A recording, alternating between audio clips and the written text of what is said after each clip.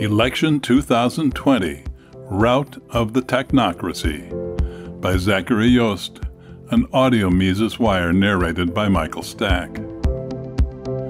Regardless of whether one supported a specific candidate for president or no candidate at all, lovers of liberty should be rejoicing over a glorious victory this election cycle.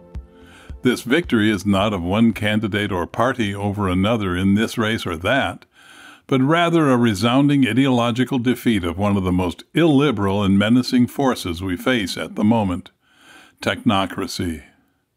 Technocracy serves as a useful veneer to cover the lust for power and domination that motivates most political actors.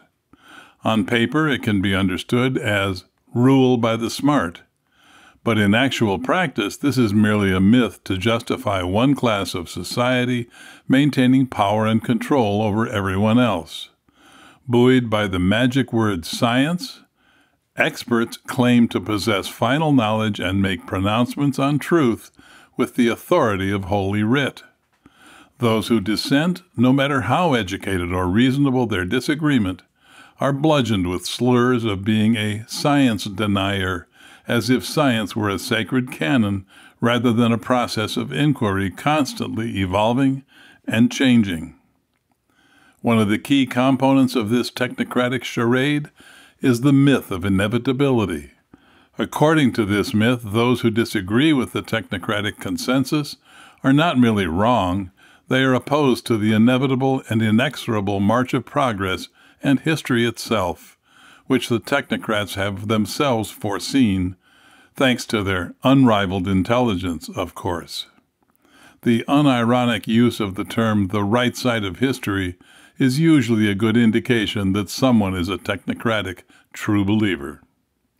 However, simply making prophetic pronouncements smacks too much of religion, which all right thinking people, of course, know is unscientific mumbo jumbo, Humans have always sought to divine the future, doing so via various means, such as tarot cards, tea leaves, and mapping the movements of celestial bodies. None of them ever worked very well, but thanks to the power of science, technocrats believe they have moved beyond such primitive superstitions. Instead of throwing bones in the fire and reading the cracks, technocratic soothsayers use such arcane techniques as public opinion polling, and database modeling to scientifically scry the future and discern the arc of history. The legitimacy with which vast swaths of the public holds these technocratic prophecies is one of the technocrats' greatest strengths and allows them to get away with many things that would otherwise be impossible. Just consider the response to the COVID 19 crisis technocrats have been given virtually free rein to reorganize society at will. Few people would listen to the crazed antisocial lockdown proposals that threaten the quintessentially human aspects of our existence, were it not for the ability to use science to browbeat dissenters into submission. However, this election has demonstrated that not only do our technocratic overlords not have the power to scry the future, but tens of millions of our fellow Americans are skeptical of these prophetic powers as well. The degree to which the prognostications were off, by double digits in some places, has revealed that perhaps all this scientific polling and modeling isn't much better than reading goat entrails after all. Thanks to the pollsters, millions of people were expecting a blue blowout that would sweep away Trump, secure the Senate, and increase Democrat margins in the House. Instead, the presidential race was very close. The Democrats have barely hung on to the House, and the Senate is likely going to remain Republican. Had a soothsayer been this wrong a thousand years ago, he would have soon found himself having his own entrails read. This disastrous record not only discredits election specific polling and modeling, but public opinion polling and modeling in general. This is perhaps an even greater blow to the technocrats, as it removes a tool by which they can loudly assert that they have a mandate to carry out whatever status scheme they are harping on for the week. Perhaps even more important than the discrediting of technocratic soothsayers is the complete exposure of the pundit and intellectual class as self deluded charlatans.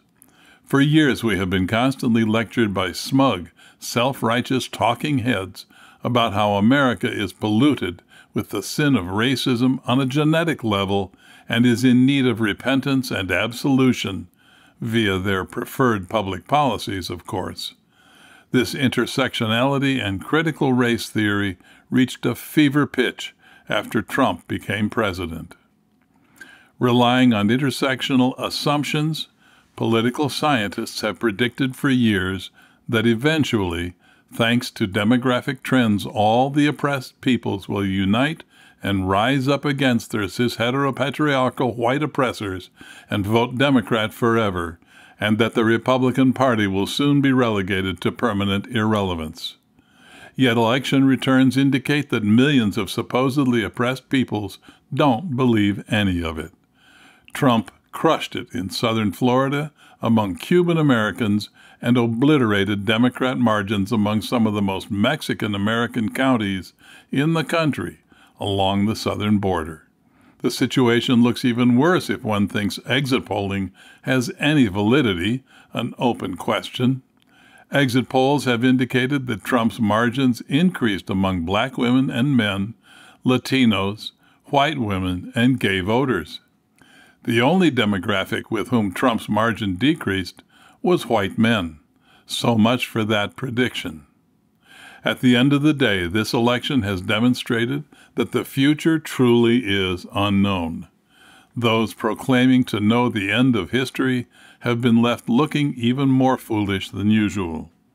They would have people believe that everyone else is powerless against the inexorable forces of historical progress and that those who disagree are merely reactionary holdouts who will be swept away in due time.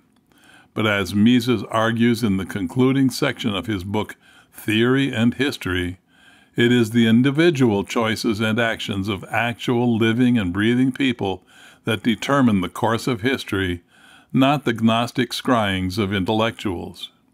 Far from being something foreseen, Mises points out that the outstanding fact of history is that it is a succession of events that nobody anticipated before they occurred. With so much technocratic propaganda perpetually inundating us, the future may indeed look grim at times, but take heart. In a glorious display of ineptitude, the enemies of liberalism have reminded us just how deluded and ignorant they truly are.